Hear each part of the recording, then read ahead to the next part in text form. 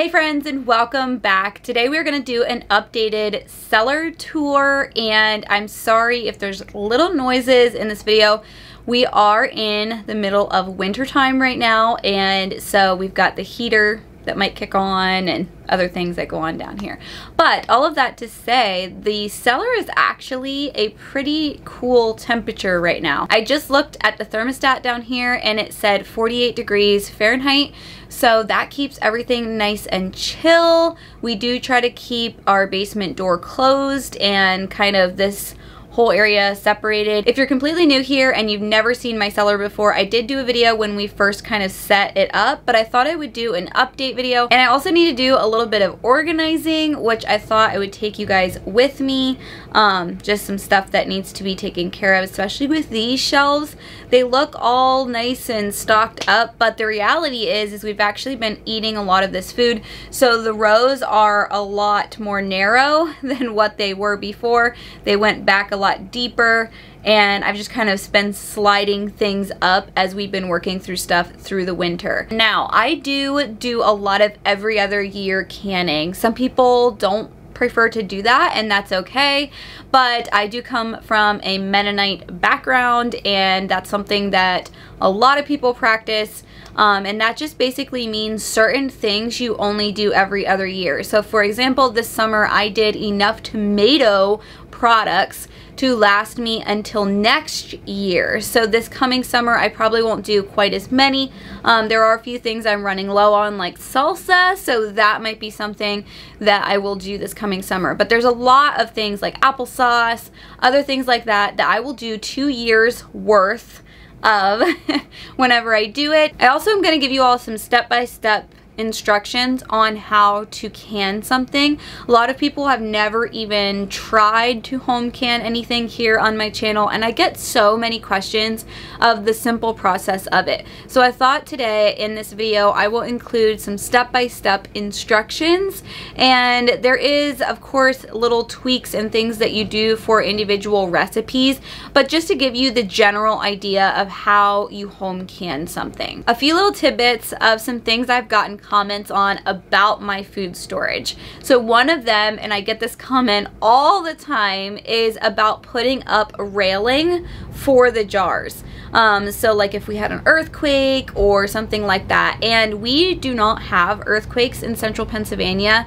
Um, everybody that I know that home cans, and that's a lot of people, their shelves all look like this.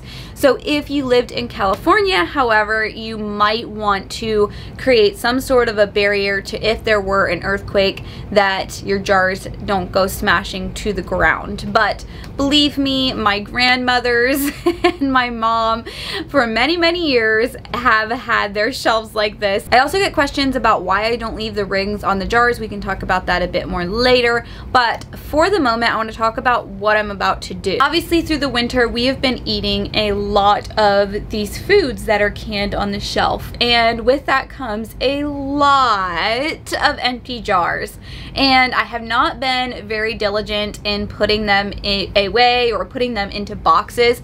A bunch of them, there's like a big sea of them on the floor on the other side of the cellar. And I need to put them into boxes and I need to kind of condense what I have here. So what I'm going to do is there's a lot of space behind the rows of jars and I'm going to just slide the rows over if that makes sense. I think you'll you'll kind of catch it as I go. And whenever I'm done kind of doing this condensing project here I'll walk you through the cellar and just show you everything that's here and maybe a few of the things that have changed since you last saw it I started out by moving the peaches and the pears over and I did do some peaches this year. I didn't do pears, so this is what's left from the pears. Last year, I did a ton of pears. I had found an amazing deal from a local vendor at a farmer's market on pears and snagged them up. We also love to get these dark cherries from Aldi, so I'll get a flat of those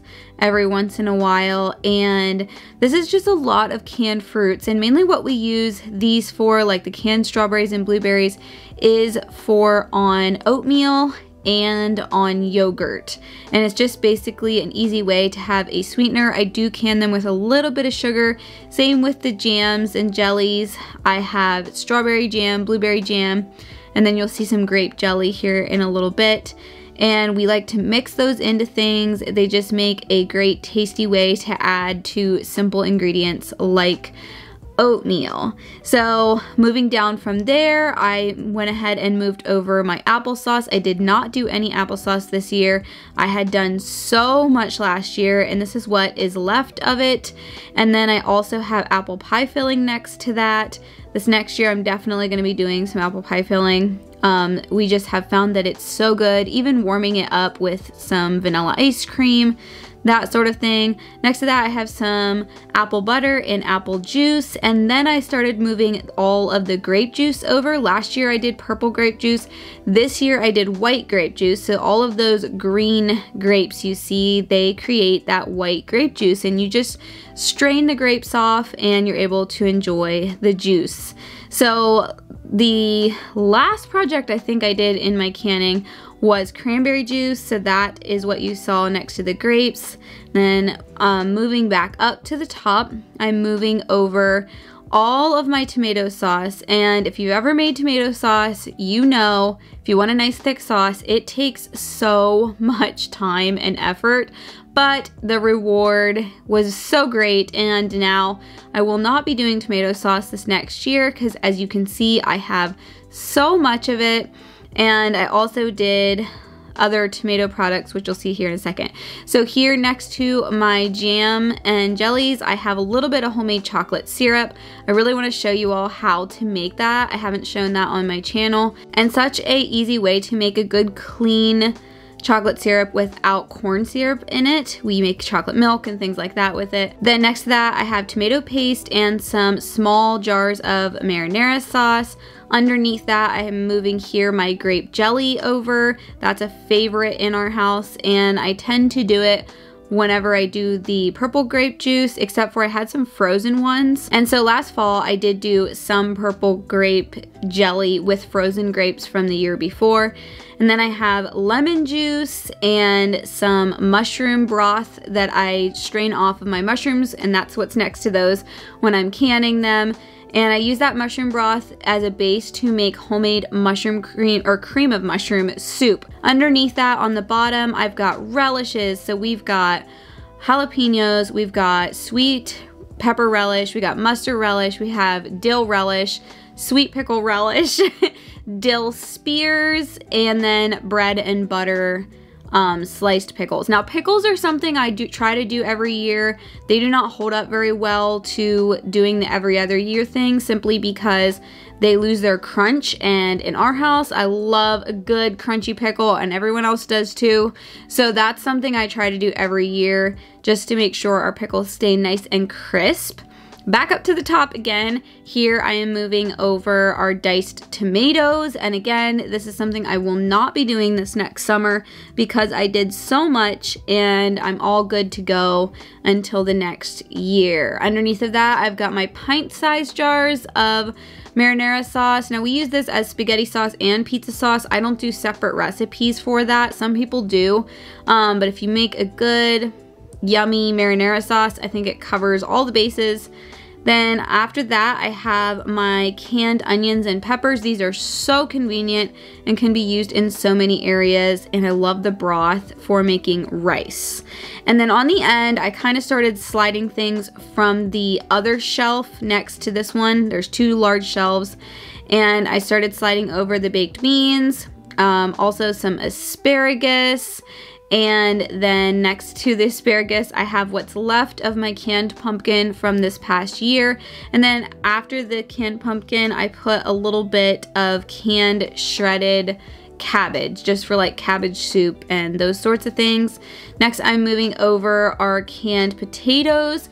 I have been very consistently buying a 50 pound bag of potatoes every month and um, we just haven't been going through the canned potatoes quite as quickly. So this winter I didn't do a 50 pound bag of potatoes canning it up. Um, so I don't think I'll need to until next winter. All right, I think we were down here at the corn whenever I decided to have my daughters come help me because this was taking way too long. Um, so they came and helped me move the jars over and it went really, really fast. So down here is what we have left of the corn. Um, we had over double this whenever we started the year. And then this is honey. Here is potatoes. Um, I think up here, some of the stuff I may have shown you all. Baked beans, green beans. Those are some sweet potatoes. This is all chicken broth and then shredded chicken and a few um, black beans there on the end. And then here is some home canned soups, some tomato soups. These separated because they are canned without sugar. These are canned with sugar. They just separate more so when they don't have that extra sugar in there. And then I have some pulled pork and some chicken breast. And then down here, the potatoes kind of wrap around that side because they do connect in the middle. Um, so I've got carrots. This is all like beef bone broth and a little bit of canned uh, roast beef. And then down here, I've got canned butter and some chickpeas. So now that we condensed everything, we've got all this space here to put boxes of jars. And that's what I need to do now. And this little fun science experiment over here. that is the last of my potatoes from the previous 50 pound bag I got. They all sprouted. I need to get them out of here.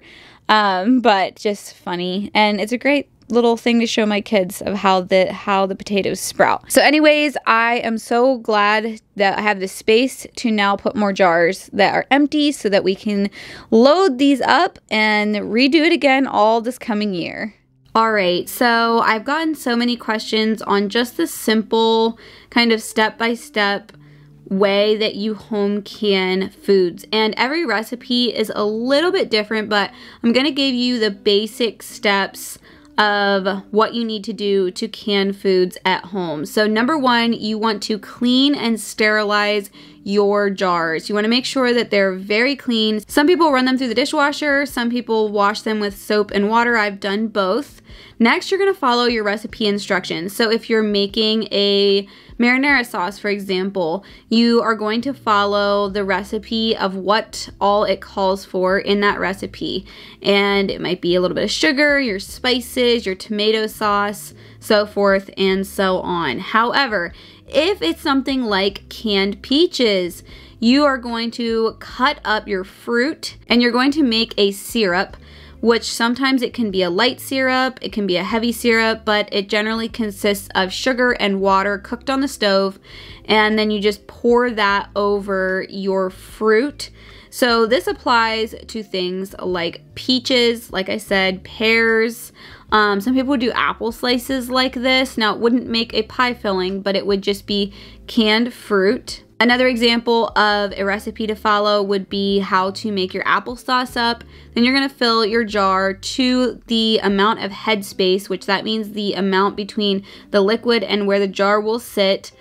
Um, that your recipe says. So here I'm just doing it with some syrup. Now I make really, really light syrup. I generally don't put a whole ton of sugar into the water for these, but just enough to help preserve the flavor because sugar does help preserve flavor. Now the next step is going to be to wipe the rims. Almost always I wipe the rims, particularly if you have something sticky um, like a syrup and sometimes or most of the time, sometimes I use hot water, but most of the time I like to soak my cloth or paper towel in some vinegar.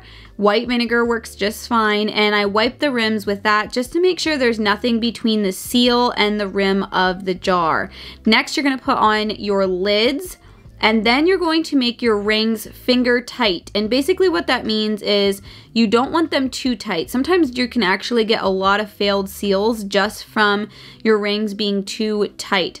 So a lot of times you just want to turn that just to finger tight, meaning like just when it starts to get tight and then you just let it go. You don't want to over tighten them and you obviously don't want them too loose as well or you're going to have a lot of siphoning. So either way, You just want it kind of at a nice medium tightness, if that makes sense. Then you're gonna follow your canner instructions. So water bath canning generally means that you are filling a big kettle up with water and putting the lid on and getting it to a rolling boil and then you start your time. So for example, if the recipe says that you need to water bath for 15 minutes, you're gonna start your timer at 15 minutes when it's at a rolling boil. And that means that it's really, really bubbling. You set your timer and then when the timer goes off, your processing time is done. Some people let it rest a little bit and some people will pull it out pretty well right away. Pressure canning, on the other hand, you're gonna follow the instructions in your pressure canner manual and it will tell you how to run your pressure canner. Different pressure canners work different ways, so that is why I say refer to your manual. Okay, so here is an overview of this side of the cellar. Obviously, you've seen all of this in close detail. And then around the corner here, we've got a lot more storage. And I took care of those potatoes I had shown you. So one thing that I did add to this area of the cellar since you all have last seen it is these baskets. I have had a lot of just different baskets I've been finding and they're so convenient during harvest season um, even if I'm picking up from local farmers just to have the things I need for strawberries, for blueberries, for anything like that. And I just have them hanging with S hooks here. And then over on this side, if you've never seen our cellar before, I have some of our oils and vinegars over here. This shelf kind of holds a lot of odds and ends, larger jars, freezer containers, things like that. And then up here, I've got our Mylar bags with a few pastas. That's what I tend to do with my pastas is put them into Mylar bags. And then I just use these bungee cords to help keep everything on the shelf and not falling off. Down here is kind of just a random selection of kind condiments, a few other store canned items. I've got Ziploc bags. Um, and over here, I have been using Zwilling a lot. I know I have shared about them in the past. Um, but I love, love, love their vacuum packing system and we use it on a regular basis. So this is a ton of their vacuum storage bags. And up here, I've got some gluten-free pasta that we use a lot. I had been getting it on subscription from Amazon. I did stop it for a little bit because we're nice and stocked up. This mostly holds a lot of baking items here. So things that I get from Azure, like I like to get their organic cocoa up here. Um, we've got flaked coconut, just other odds and ends of things that are generally for baking. I don't really have any of that labeled because it just fluctuates and I kind of have an idea of what's all in there. Up here I have some freeze-dried items and then a few things from Azure that I kept nice and high. That was a question I did get was what about mice? Have you had any issues with mice in your cellar? And we haven't. I have seen a few signs of them but I haven't had any issues with them getting into any of our food. I don't know if it's because this these racks would be a little hard for them to climb could potentially be. Most of our food though is stored in glass or harder containers that are harder for mice to get into.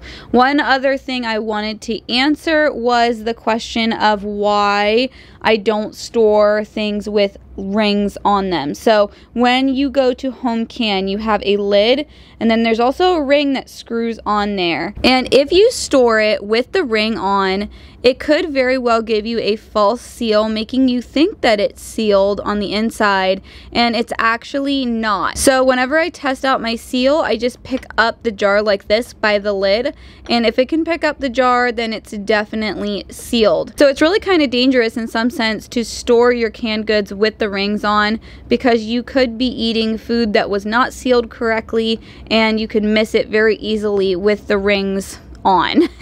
so back over here to this side before we go to the other side of the cellar. Sorry if my light is a little bit bright. I just wanted to be sure you all could see. It is very dark down here. We do have, there's one little window that is connected to this and we do have that covered up.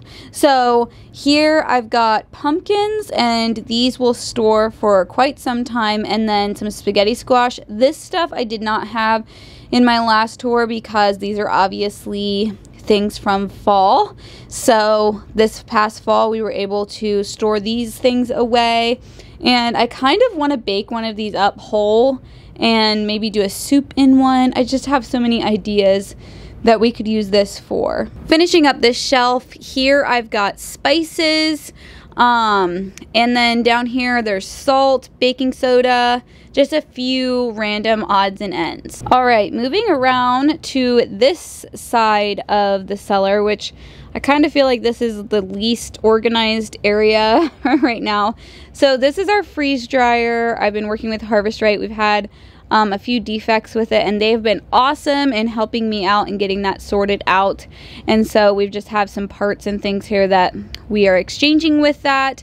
This here is vacuum sealing stuff. Um, just a few odds and ends down here are my canners and I think that it's all just mainly freeze dryer related things.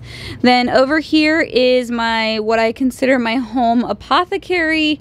It has all of my herbs and things that I would use for home remedies and things like that. I have a few things up here you can see. These are tinctures that I have made in the past. And this was actually some local lavender that I picked up this fall and dried and so we can use that. If somebody wants a good lavender bath we've got that on hand. I love that.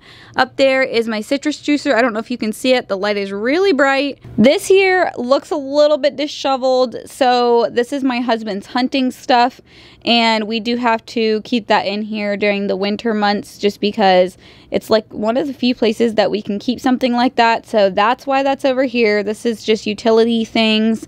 And then on this side, I've got a bunch of my dry goods. So this holds things like flour, oatmeal, cane sugar, um, anything I would get in like a 50 pound bag, that sort of a thing. And then this is our freezers, our current freezer situation.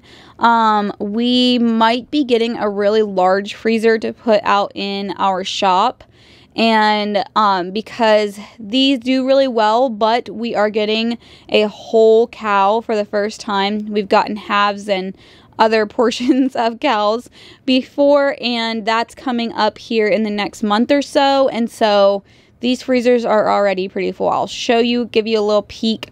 So we did just get half of a pig. And so we have lots of sausage and things like that. I tried to write what's in here on the tape. I don't always keep track of every single thing. But this one is set up how I prefer them to be set up. These two have had to be a little bit dismantled because of how much meat we've gotten in the last couple of months. But basically underneath of here, all right, I lifted this out, but underneath of here, we've got two of these crates stacked on top of each other. So there's this one and then the one below.